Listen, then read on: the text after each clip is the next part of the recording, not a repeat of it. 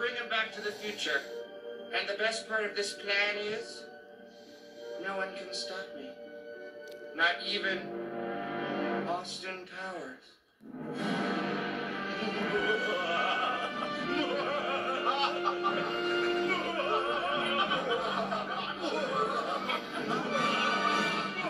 Not so fast.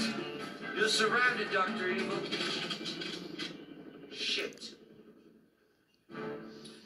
Evil, the world court sentences you to 400 years. Do you have anything to say?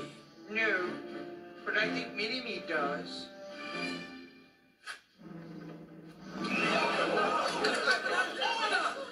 Looks like two eggs and a hanky. The criminal genius known as Dr. Evil and his clone were sentenced today at the World Organization. For his efforts, Austin Powers